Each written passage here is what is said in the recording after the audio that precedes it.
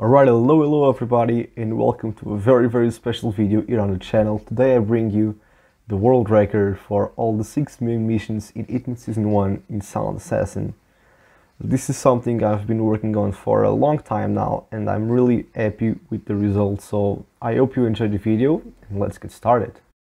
Uh, so starting off we have the first main mission, the Showstopper set in Paris. We're gonna be starting at the I don't remember the starting location of it. Uh, I think it's the AV Center, whatever. So we're going to be starting as a tech crew and what we're going to do, well, once the loading ends, of course. By the way, this is post commentary, so I recorded the run before doing commentary now. So what I did was I skipped the cutscene straight away and uh, blew up the fireworks straight away so that Victor stops there and doesn't open the door so I get to take a clear shot at him and his body will just go and found there at least uh, not until I exit the mission so nobody finds him until I exit the mission.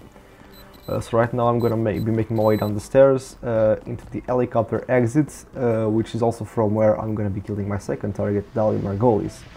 So uh, the, what we're to do is we're to shoot right there. That's to distract this guard. So the Napoleon is to make the guard that is up there on the balcony with Dalia come downstairs, therefore allowing me to kill Dalia uh, without killing the guard too. So therefore allowing me to get Silent Assassin. Uh, something that I'm going to be doing about doing run is I won't uh, stay for too long in the rating screen, like only for a slight second so that you can see that I got Silent Assassin, but I won't wait for the full 5 stars to pop up because you can see that before they all pop up, so I won't waste much time there on the loading screen. Uh, so now on to Sapienza, uh, we're to be starting at the, as a mention guard. I believe this threat, this Caruso kill I'm using was found by FKDFW, but I'm not completely sure of it, so I'm sorry if I'm doing the credit wrong, but what matters is I didn't find it, uh, but it's great and I'm using it, so thanks a lot to FKDFW, which I think is fine. So what we do right there is we kill Dalia by electrocuting her, then right here, when Cruz is getting to the lawnmower, we shoot right there, we shoot in the leg, he gets gonna get him close enough so that we can blow that shit up and kill him.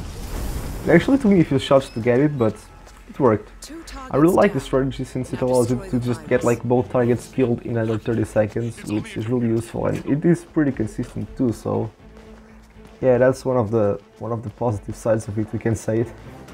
But yes, right now I'm gonna be heading downstairs in order to kill the virus. Well, not kill the virus, destroy the virus, more like that. Uh, I'm gonna be using the phone, which is something you can do in this game is you can place the phone on the ground and the place it on the ground and the explosion will just uh, happen below the ground and that's what happens right here. Uh, the, with the phone I drop the stalactite on the virus. So yeah, that's it for Sapienza. Pretty simple but pretty cool and pretty fast strategy. I really like using this one. I've actually used this one on my previous uh, full game speedrun and I'll probably keep using it because it's, it's just too good not to use it. But yes, right now we're gonna go on to Marrakesh it's another really cool strategy. Uh, so with this one we started the consulate parking garage and we're gonna smuggle there the rubber duck too, the luck duck, we could call it that.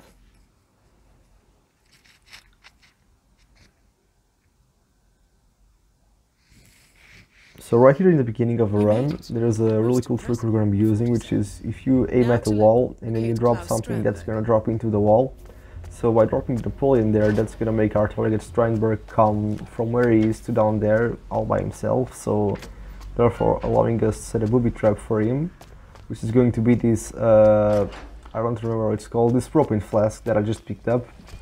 And I'm gonna leave it right here, so that when he comes through the door, it's pretty much gonna blow his ass up. Alright, so now on we're gonna be picking up this crowbar, which is really important for the mission by the way so we're gonna go ahead now and head to the military complex where Zaydan is right now. So we're gonna use the duck to blow up that bike there on my right. And that's gonna make those guards get away from the door. Well, not the door, like the way in. this is not exactly a door, but it's gonna make them get away, therefore allowing me to get inside without getting spotted. So right here I'm gonna start paying some attention to the map so that I can time uh, Strindberg's skill right. So right here I use the breaching charge to uh, open the door. I need to shoot it instead of using the detonator because if I detonate it then I will detonate both breaching charges therefore uh, killing Strindberg 2 which should be ready to die right now. Yep, there he goes. Next up, Zaydan. And right now we're just gonna kill Zaydan with a kill that is actually kinda consistent, but only kind of, because it depends on whether the guard just comes straight away after him or he, sometimes the guard even comes first, but what, I, what happens pretty much generally on this one is uh, I will shoot right there for a distraction and usually uh, Zaydan will come down the stairs but uh, what happened here was it just stopped there but I managed to actually kill him and then uh, knock out the guard fast enough before he turned around so it worked. Uh, that kill is a bit tricky I'm not gonna lie. It's sometimes uh, it's it can be a bit hard to get sometimes but yeah I managed to get it thankfully. Therefore, I also right there I just grabbed the keys so that I can actually exit via the truck here, saving me a lot of time. Uh, because this is much faster than just, well, exiting the complex and going to the gates or something. So this way I can exit like much faster and I don't risk the bodies getting found anytime soon. So yeah. So now I, right here I kind of screwed up because I was gonna start Marrakesh again, then I remembered, oh wait, I already played that one, so now on to Bangkok. So we're just gonna start in the as uh, the sound crew. I think that's the name of this guys. I don't really remember all these names, sorry, it's been a while since I've done one of these videos with commentary, so yeah. So what we do right here is just skip the cutscene straight away.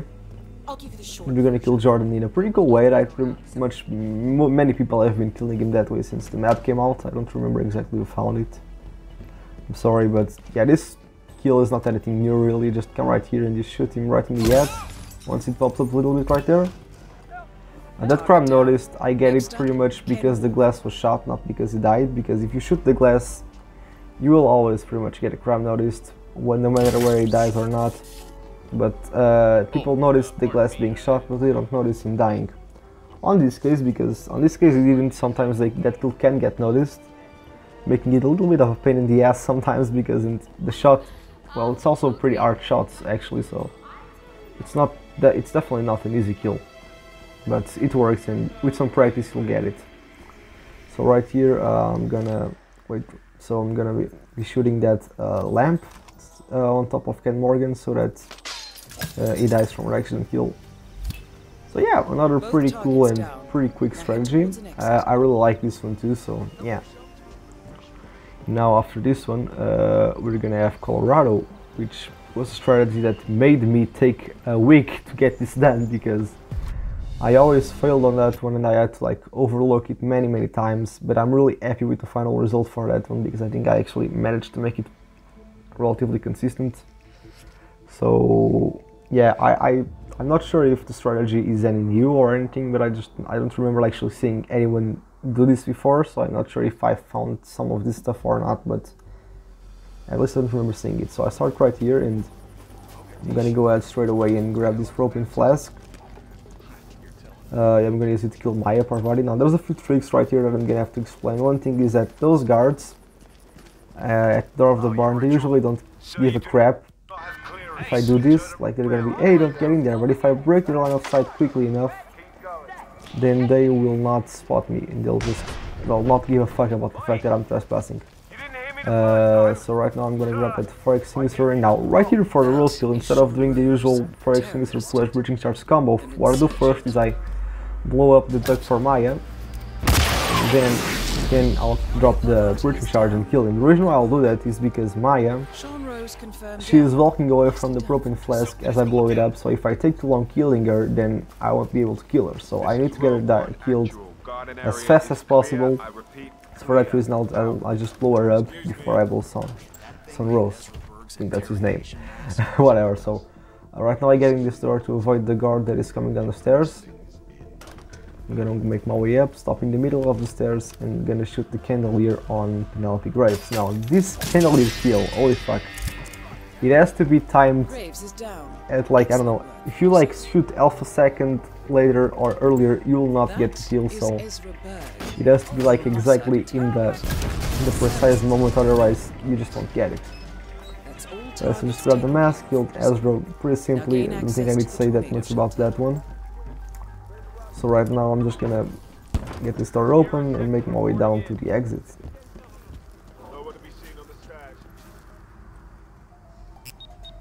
Just getting a shelter and do the usual stuff that everybody has to do. On Hitman 2 you can actually use every single exit for the mission after you complete it once I think, but on this one you're not allowed to do that yet. So yeah, we'll just have to go for that one. And right now, so now we're on to the final mission, Hokkaido. Uh, this is a really simple strategy that I think people have been using this one on the mission since day one. I honestly didn't put much thought into this one because it's the last mission and I just wanted it to be consistent so that I will not fail on the last mission, so it's pretty simple, so just wait the cutscene a little bit to avoid the enforcer, then just throw run attack at Soders, blow it up, let them go and drop breaching shards. Actually, I don't think I need to explain this run, it's pretty self-explanatory, so I'll just take the time to uh, thank every player that has helped me in my journey as a Hitman speedrunner and everyone that helped me become a better player and everyone that you know uh, made a little contribution to these routes because this I, I was the one I, I mean I was the one that was grinding for this but I mean like this speedrun is not 100% mine. Uh, there was a lot of players that helped with their ideas and with their creativity and without them, them having those ideas, this run will never exist and I would not have gotten this done. So I just want to thank every single player in the Hitman community that you know, is out there playing every day and coming up with awesome stuff every day. So yeah, so this, this run is for all of them. Like this run happened thanks to all of them. So thanks a lot and well, thanks a lot for watching the video. I hope you enjoyed it.